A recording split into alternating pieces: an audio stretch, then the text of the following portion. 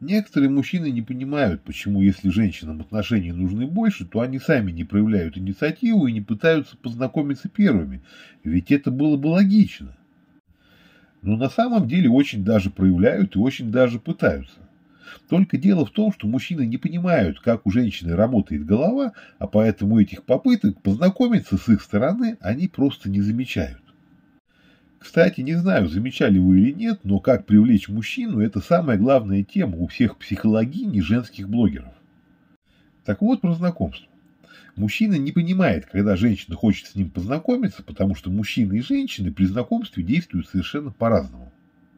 Когда мужчина хочет познакомиться с женщиной, то, скорее всего, он не будет ничего изобретать. Он подойдет к ней и прямо скажет о своих намерениях. А вот как действует женщина, когда она хочет познакомиться с мужчиной, я вам сейчас покажу. Если вы находитесь в общественном месте, вы увидели симпатичного мужчину и хотели бы, чтобы он обратил на вас внимание, есть простое упражнение, как быстро активировать женскую энергию. Вы начинаете делать упражнение «жим-жим», то есть берете ваши половые органы и как будто бы поджимаете их и расслабляете, поджимаете, расслабляете. Делайте это минуту-две, и вы посмотрите, что вашей энергии станет больше, и мужчины начнут обращать на вас внимание. Мальчики, это танец для вас!